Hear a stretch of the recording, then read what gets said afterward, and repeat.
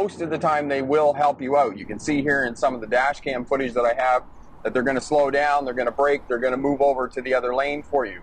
Driving is a social activity. They will help you out as much as they can, but sometimes traffic on the highway or freeway simply can't help you out because there's a vehicle beside them, they can't move over, they can't slow down because there's traffic right on their tail or those types of things.